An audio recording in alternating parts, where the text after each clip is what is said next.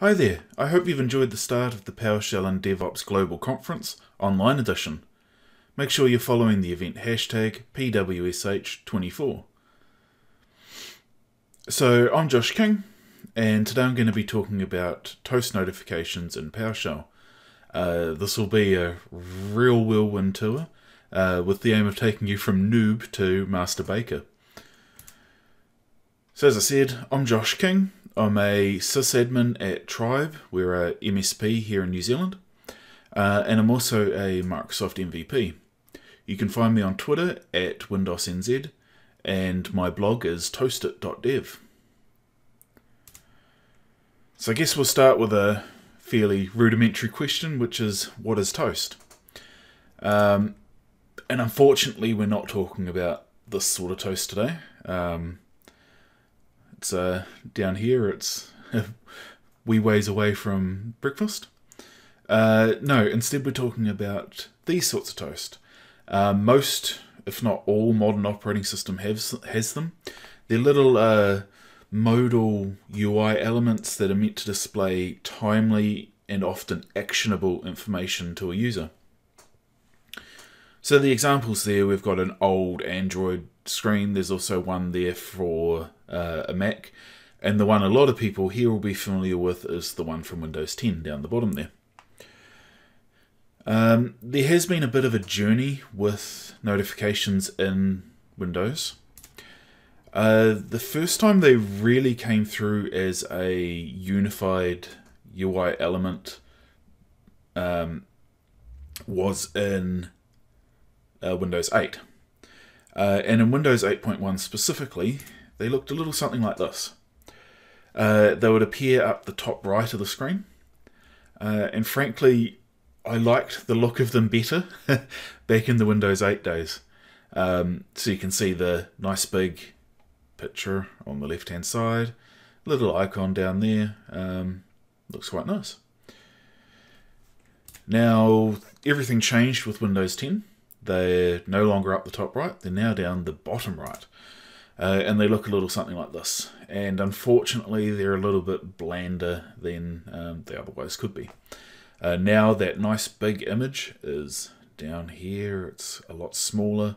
Um, if you're using an image like that, you also don't get the app icon anymore, so there's no little PowerShell icon. Um, but they do the job. And there's actually a lot more customization available now as well.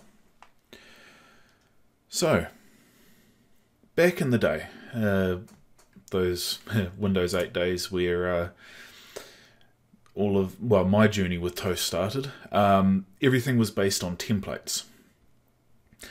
So, up front, when you were creating your Toast notification, you'd have to choose what sort of toast you want to display and exactly what you wanted on it.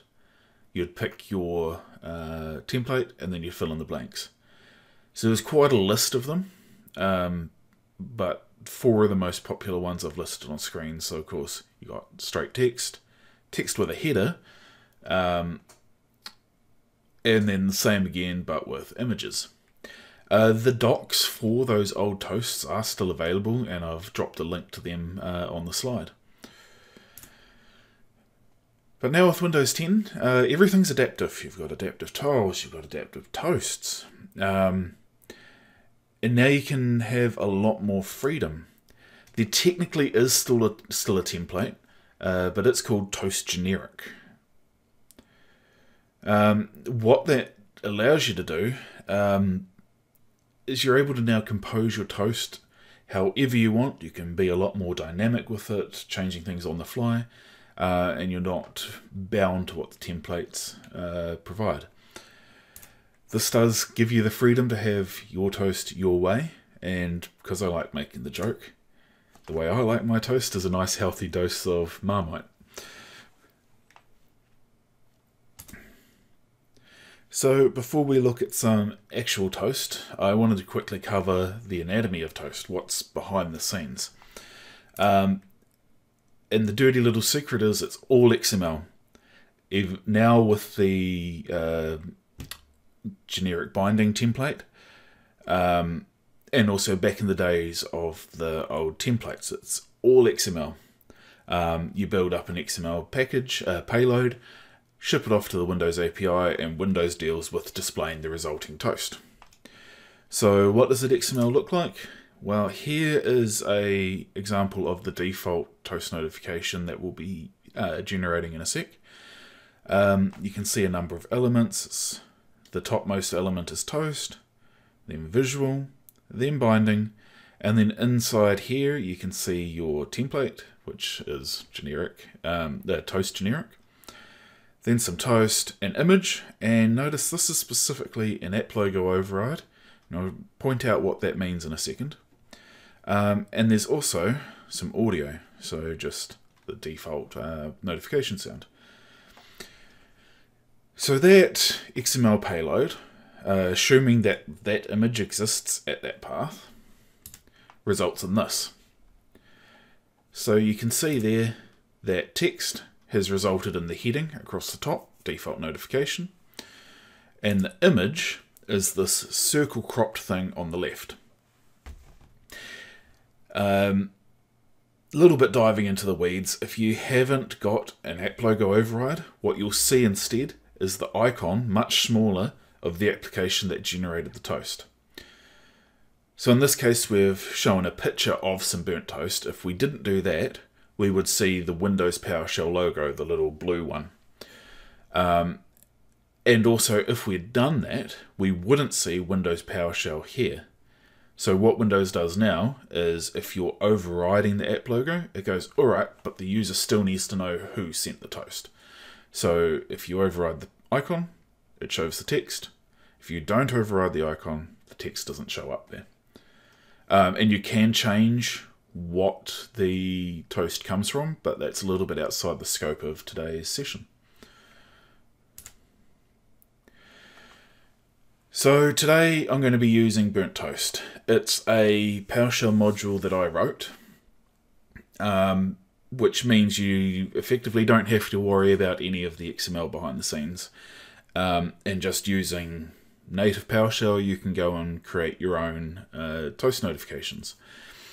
Uh, it's available on the gallery, and if they haven't fixed it yet, it'll still show 14 plus million downloads. Um, unfortunately, that's a bit of a bug.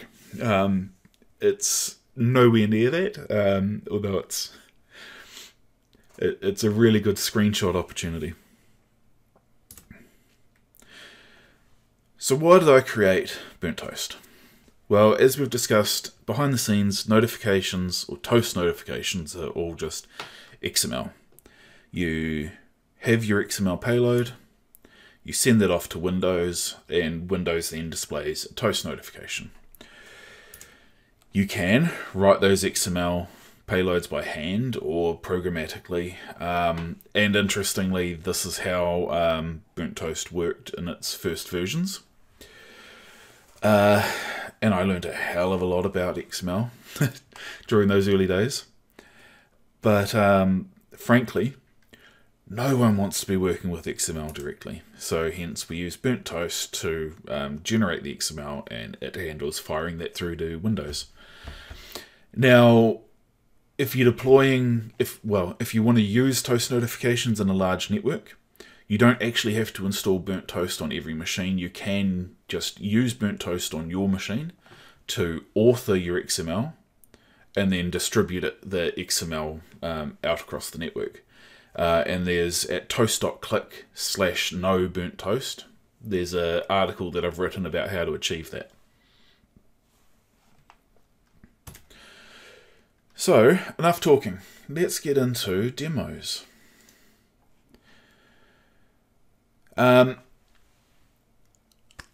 all of these demos are using the Burnt Toast module, and if you don't already have it, you can install it from the gallery, uh, the PowerShell gallery using install module. Um, and all of the demos that we're doing today use this new Burnt Toast notification function.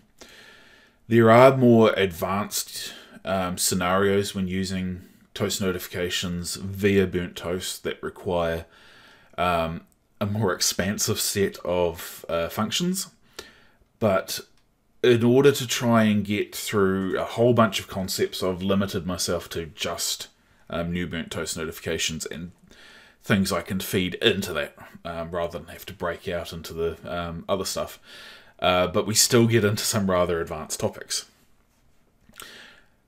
So first one here is um, the default notification. So straight out of the box, you've installed Burnt Toast, you run new Burnt Toast notification, you get that. And hopefully you heard the chime. Um, that's the default Windows um, notification sound.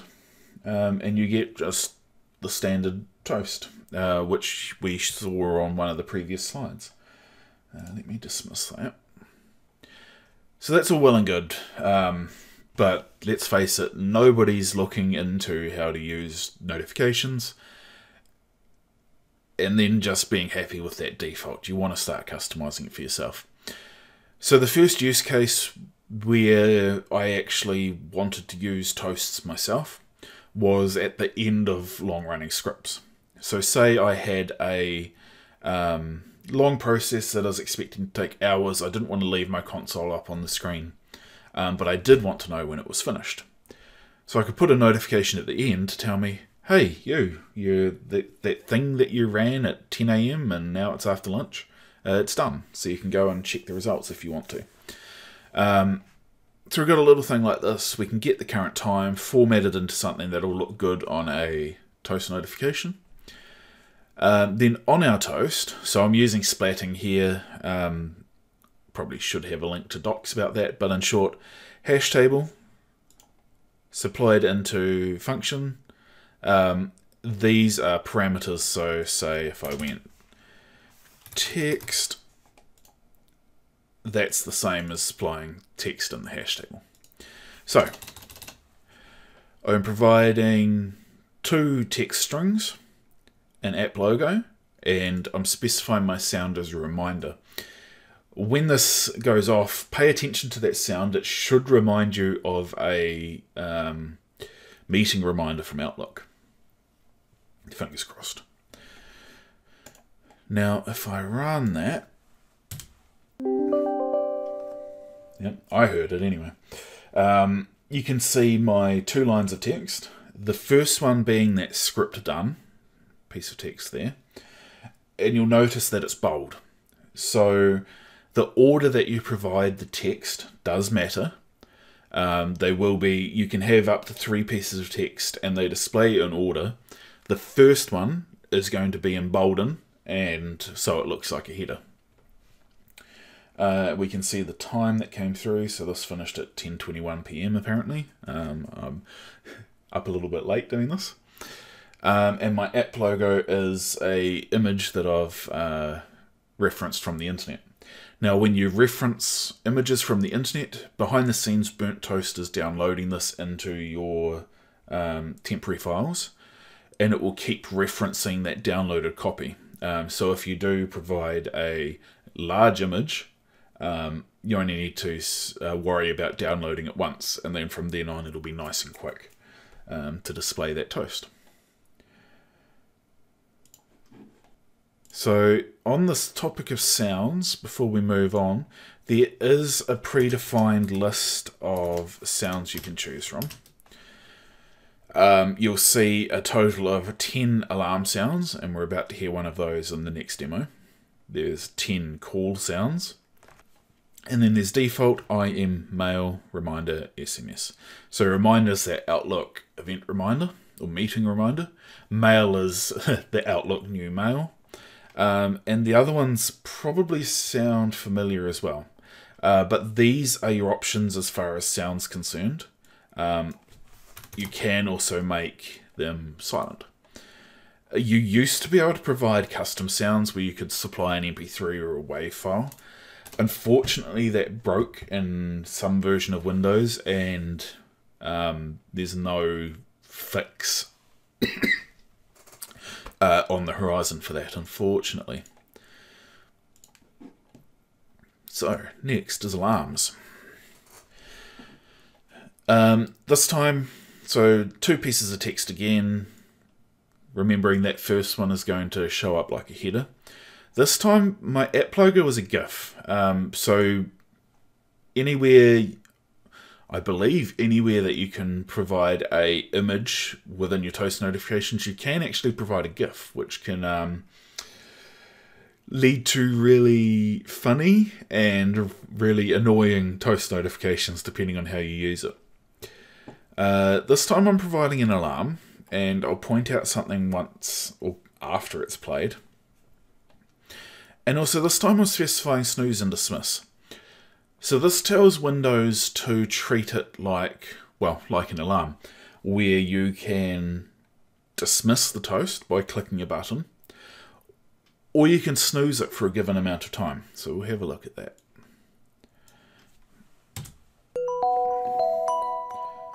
So I'll, hopefully I can talk over the, the sound. Um, you can see that the uh, app logo is animated, it's little blinking alarm clock. Um, we've got our text there again, but now down the bottom we've got a suite of uh, buttons and selection box items. I really don't know why the default value is 9 minutes. Um, that's that's been odd, um, but you can see it goes from 9 through to 1 days. Uh, if you snooze, it'll come back up in that time, and let's get rid of that because it's driving me nuts. Um, yeah, so I don't know why the default time there's nine minutes. That's all system generated, and I can't control it within Burnt Toast. Um, it's been on my issues list for ages, and I keep checking every time a new version of Windows is out. Um, it's just one of those things. Uh, now, one thing to notice about that alarm sound is it kept looping. Um, when you dive into the more advanced um, component functions um, behind the scenes, you can choose to loop any sound, so you can keep dinging that new mail reminder um, or notification sound if you want. You can also choose not to repeat alarm and call sounds. So what I've done behind the scenes is if you specify an alarm or a call, I automatically turn on looping. And I also automatically turn on um, keeping the uh, notification on screen for longer. Um, so you can control that um, yourself. It's just a bit beyond this.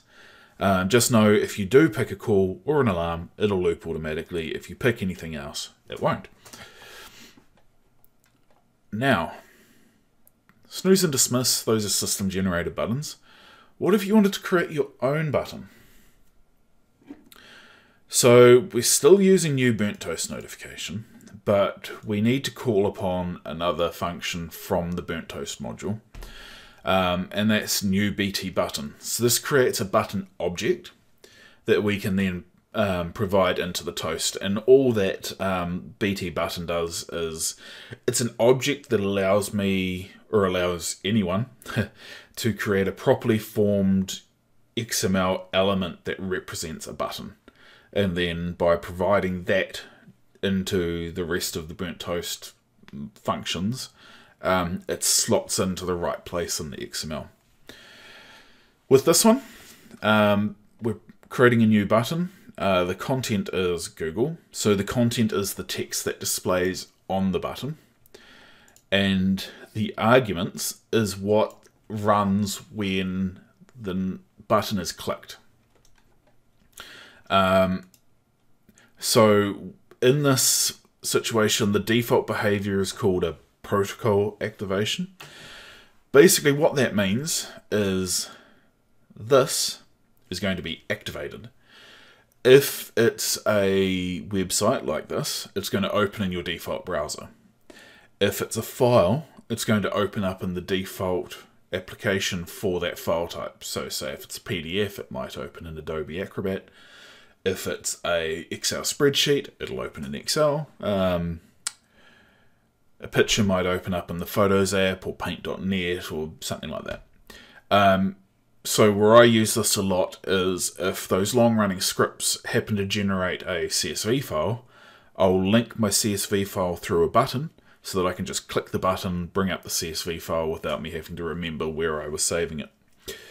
In this case, it's just opening up Google. Um, and the text is a bit tongue in cheek. There's something new on the internet. Uh, sound at this time is IM, and this time I'm providing button. Um, just one button. You can provide multiple, and I don't remember what the maximum is. Um, I'm fairly certain it'll tell you if you provide too many. Um, I'm not going to test it though. uh, so if we run this, there's the IM sound. Um, there's something new on the internet um, with a nice big button, and the button in the last few versions of um, Windows now spans the entire width of the notification. It used to be a standard size and it would be right aligned and it looked kind of ugly, to be frank. Um, so one button spans the whole length. If I click it, it opens my browser and Visual Studio uh, VS Code takes over the focus. But I can pull it back up and there it is. So that's one button. What if we wanted multiple buttons? Um, so in this one, we now have two buttons, Google button and a Bing button. And my text has been expanded a bit to say, um, choose your favorite search engine. And you can see that I'm passing in my two buttons. Again, the order here matters just like your text. So the button you provide first is going to show on the left hand side um, followed by subsequent buttons. Now, the other thing you'll notice here is I've got my content. Cool. We know that's the text that shows on the button.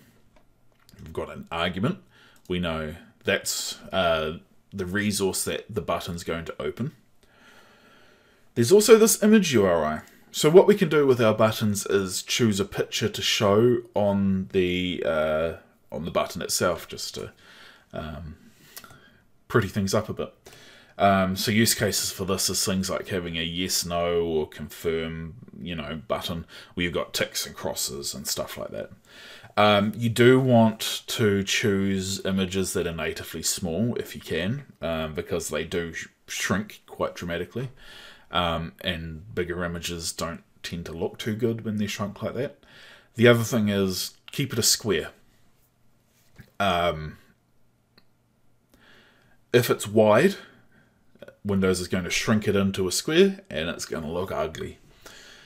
The other thing to be aware of, depending on um, when I get the patch pushed out, at the moment, if you're doing this at home, your button icons have to be local files. Uh, online resources like this won't work for you. Um, they work for me because I found the issue when writing these demos, um, patched it myself, but it's not been pushed out to the gallery at the time of uh, running these demos through. So, let's run all of that. And this time, we can see our notification again, this time with two lines of text um, and two buttons. Uh, so one thing you'll notice is when you're showing the images, it's not as easy to tell where the buttons start and where the toast ends. Um, so you'll remember it was a different grey on my previous toast.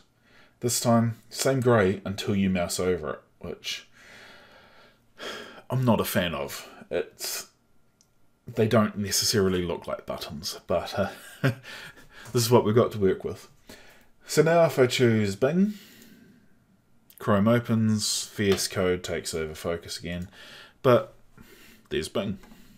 So if that was any other website, I could go, um, for example, I could have something that's watching uh, Stack Overflow for new PowerShell questions, and when one pops up, I can get a notification saying, hey, there's a new PowerShell question on uh, Stack Overflow um, I can click the button and go straight to that question so I can read it and um, snipe an answer on it or something.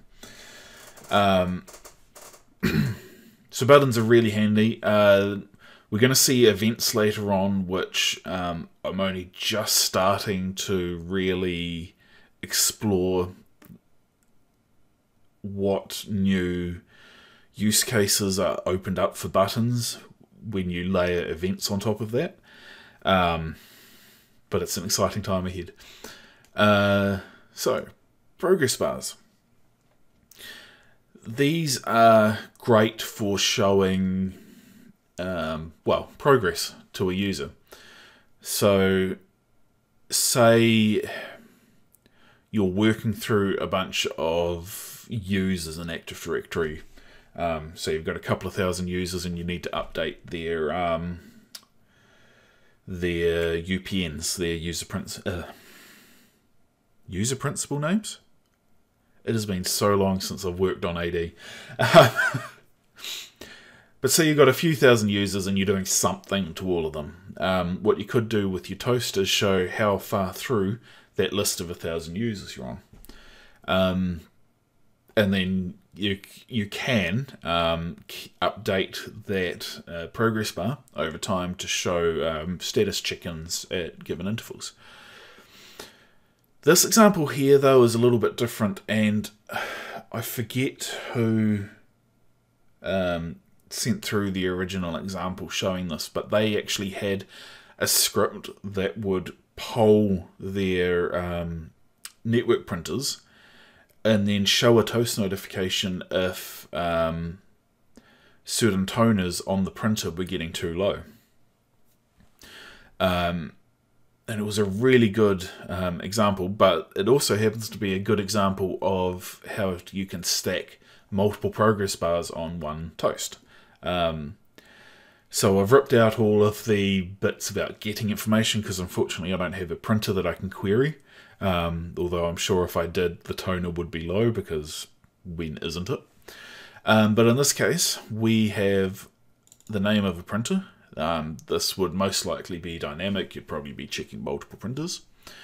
Um, and then we've got four progress bars using the new BT progress bar function.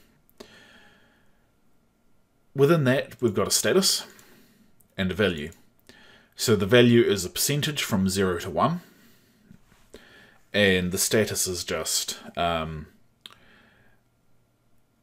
information about, if this was a standard progress bar, information about the current status of whatever thing you're reporting progress on. Um, so on that user example, you might say, currently working on Josh currently working on Kevin, currently working on Sally, etc. Um, here we're using the status to show um, which color toner we're reporting. On these, there's also title. So status shows under the progress bar, and I'll point that out once it shows. And title shows above it. So your title could be, say, um, cleaning Active Directory, and then the status could be what you're actually doing in Active Directory at that point. Then there's also value display, which is just a string value. What this allows you to do is overwrite the percentage value. So by default, the value is going to show is, say with 0, uh, 0.75, it'll show as 75%. What you could do is overwrite that to say uh, 750 of 1000 users. So if you wanted something that meant more in the context of what you were doing, you could overwrite that percentage display. So we're not going to do that. So again, we're providing text and we're dynamically um, getting the name of our printer to say, hey, it's low on toner and then the second line is one, at least one color is 10% remaining or less. Choosing a call to sound because this is kind of important. I need to know that I need to go and replace that toner or order one or get someone else to go and replace that toner. And then again, progress bars can provide multiple of them. Believe four might be the max, possibly five. Um, but then the order you provide them in is the order that they'll show from top to bottom in your notification. So we run that. We get the um, repeating call sound. Um, and then we can see cyan, magenta, yellow, and black, and black being 9% at the moment. Um, now this is static, it's not going to update. Um, updating progress bars are a little bit uh, of an art. Um, I'm going to show you the groundwork in a sec for how you can update toasts in general, but progress bars are a bit of a special breed that we can, um, that are a bit beyond today. So, on the topic of updating toasts, you've got two options. The first one is replacing a toast. Um, so here I've got text on my toast. I'm also layering in now a unique identifier. So the unique identifier is obviously an ID that's unique to a toast. If you send through a new toast with the same unique identifier as a previous one, the previous toast is ripped from existence in Windows and the new one is displayed. Um, so what I'm going to do here is I'll show a toast and then what this is doing is I'm just editing the second line of text from my splat hash table, which means I still have my header, I still have my unique identifier, I'm just changing this line, and then I'll change that, display a new toast, change it a third time, and display the new toast. So if I show the first one, we get demo replacement, first example. If I change this while it's on screen, you'll notice it disappears, new one pops up. It's kind of a weird animation. Now if I let that drop off screen, and I do my third example, you can see I get the notification pop up on screen there. Um, so this is great. Regardless of what happened to those previous toasts, the user's always going to be notified about the new information. So if the user dismissed the toast, doesn't matter. They're going to get the new one with the updated information. Um, so using this method, you don't have to worry at all about anything in user land. Um, you can just keep firing those through. It isn't too great for rapid updates though. Um, so if I fire through my first one, then my second one, then my third one, then I keep going,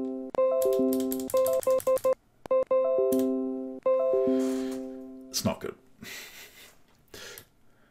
so what we can do instead, instead of replacing, is we can update.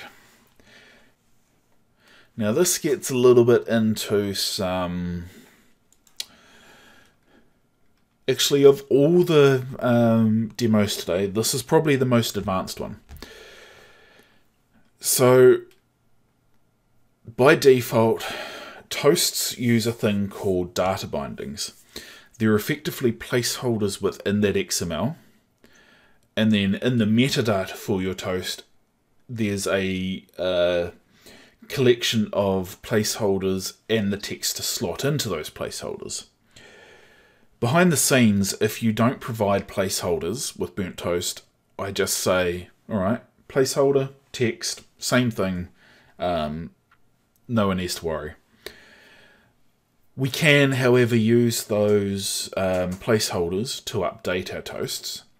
That's not the only use for them, though. You can use it for localization, so you can have multiple languages supported, and then you just swap out um, what maps to your um, placeholders based on, say, the uh, culture settings on the target PC. Um, so to demo this, I've got another unique ID uh, this time I've specified it in an ID, uh, in a variable so that I can reference it in multiple places. And then I've got this data binding hash table.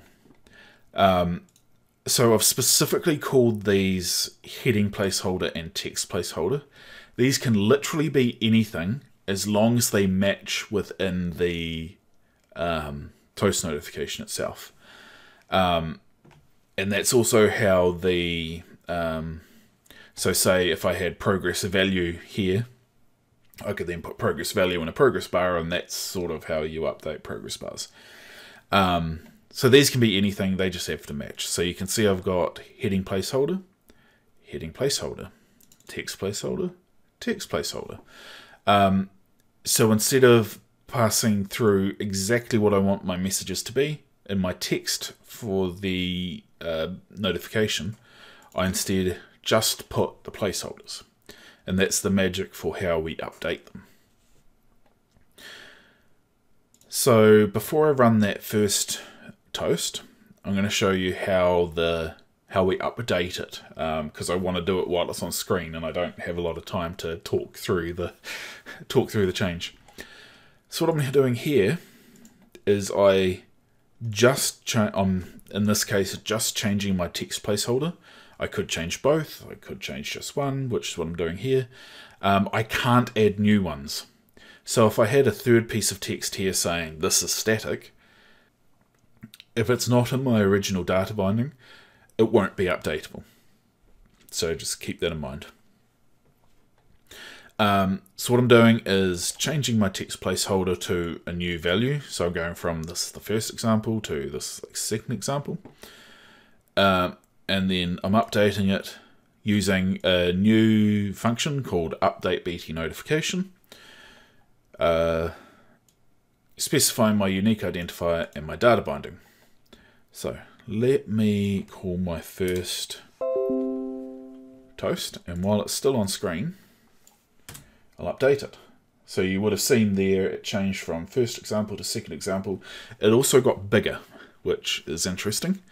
Um, the other thing is when you update a notification, if it's still on screen, it resets the timer for it timing out and dismissing off screen, which is um, actually a fairly convenient way of keeping something on screen. You just keep updating it every second or two. Um, and because it's updating and not replacing, it's seamless. Um, yeah. Now, with that off screen, let me go and update it a third time. I just saw an error fly past. Oh, that's another one of those fixes that I've got patched somewhere and not deployed to the gallery yet. So you can safely ignore that it worked. but what you will have noticed is when I updated that, nothing happened. No toast notification came up. Um, I'm not sure if I'm going to be able to show the Action Center, um, but it did update in there. And if I go and rapidly update things, show the first one, show the second one, show the third one, all updated. Now, you'll notice in my console here it says succeeded when it has succeeded in updating the toast. If I run the first one again and I go and click it, that toast notification is now gone. It doesn't exist on my system anymore. If I try and update it, I get notification not found. So that's the thing about this update procedure as opposed to replace, is you can only update what exists. If the user's gotten rid of the toast, you can't update it because there's nothing there. There are ways of checking if a notification exists um, using get BT history, um, but that's a little bit too involved for today. Uh, and I believe we're running out of time, so I better hurry along. So I mentioned events. This is brand new stuff, and it is really exciting. And I'm afraid the next two demos aren't going to do it justice, but I've been working on this, or trying to get this going for the last four or five years. We finally cracked it in the last month or two, um, and it just unlocks all the potential of toast notifications effectively with events, when you click a toast or click a button or select an item from a selection box or enter text into a text box, which are all things you can do with toasts, you can trigger an event within PowerShell. Um, so this example is really simple. I've got two script blocks here. One just writes a warning saying activated. The other just writes a warning saying dismissed. And I'm passing these into new burnt toast notification using activated action and dismissed action. So let's have a look at that. So I've got my toast. If I click it, I get a warning saying activated. So clicking the toast, clicking buttons on the toast, those are all activated events. If instead I run that and click this little uh, arrow to send it into my action center, I get dismissed. And again, if I show the toast and just wait for it to time out, I also get dismissed. So now that allows me to take different actions based on how the user interacted with my notification, what, and when you dive even further into them, um, you can uh, take branching paths based on stuff. You can take input from the user with an input box or a selection item. Oh, I could talk forever about those, but I've only got a minute or two left. So for my final demo, we're going to take advantage of being able to tell how a toast was dismissed. So my first toast just displays text, hey, this is important, and then it's got a dismissed action. That dismissed script block that it's referencing finds out the reason for why it was dismissed, and I want it to and I want to only trigger this follow-up action if it was timed out. That's important because this has the potential of snowballing and causing a headache, as I found out when I was writing the demo. Um, so if it did time out, we're going to say, hey, don't ignore me. And then, if you ignore it, it's going to call itself again. Uh, which you can imagine is going to be a little bit painful. So I'm just going to run this and let it go for a bit. So we get our toast. This is important. It dismisses and hands off the keyboard. Hey, don't ignore me. And then that one dismisses. Hey, don't ignore me. And that's going to keep going forever until it pops up and I dismiss it. So because I dismissed it via user action rather than timing out, it now doesn't send through a new notification. I could have also clicked it to activate it.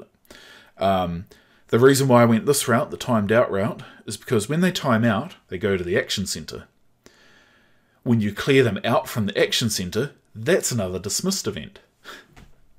Which means if you've had 10 of them and you clear the action center, guess what? you're about to get 10 more notifications that care if they've been dismissed again. Don't ask me how I know. so, wrapping up. Takeaways from today. Toast notifications are all XML behind the scenes. So if you want to, you can dive in. Um, you can um, go that route. Um, but luckily, you don't need to touch XML. Um, there are a number of options out there for avoiding that. Obviously, Burnt Toast. Behind the scenes, Burnt Toast uses the what used to be the UWP Community Toolkit, now the Windows Community Toolkit, um, and you can use that yourself in your own projects if you want to or you can use burnt toast. Um, feel free to rip burnt toast apart, repurpose it, use it wholesale, you know, do whatever. Um, and one thing I'm really keen on is hearing your use cases. Um, either how you're using it, how you want to use it, what's stopping you from using it. Um, I love all of that stuff.